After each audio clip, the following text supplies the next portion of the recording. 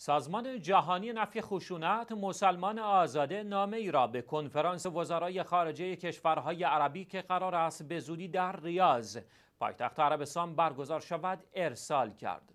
در این نامه که نسخه از آن به خبرگزاری شیویوز رسیده آمده است در شرایطی که قرار است وزرای خارجه کشورهای عرب در آینده نزدیک در ریاض گرد همایند اوضاع منطقه خصوصا کشورهای عربی طی سالهای متمادی شاهد نابسامانی هایی است و آتش فتنه آن دامنگیر همه مردم شده است.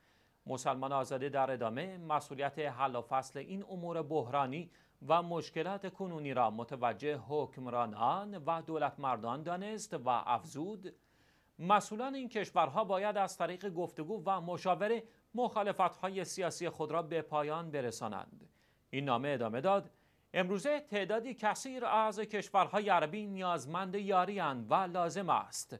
برای غلبه بر مشکلات داخلی و خارجی و همچنین امور مربوط به توسعه بازسازی و شکوفایی اقتصادی سیاسی دست یاری را به سوی یکدیگر دراز کنند نه اینکه با اقداماتی بر مشکلات همسایگان مسلمان خود بیافزایند. همچنین در ادامه این نامه آمده است سوریه، عراق، بحرین، لیبی، مصر و یمن از جمله کشورهایی هستند که هنوز با مشکلاتی متعدد از قبیل تروریسم، دخالت‌های سیاسی و یا حتی نظامی برخی کشورها و نیز فقدان دید افق اصلاح و توسعه برای بهبود وضعیت معیشتی ملت‌های خود دست و پنجه نرم می‌کنند.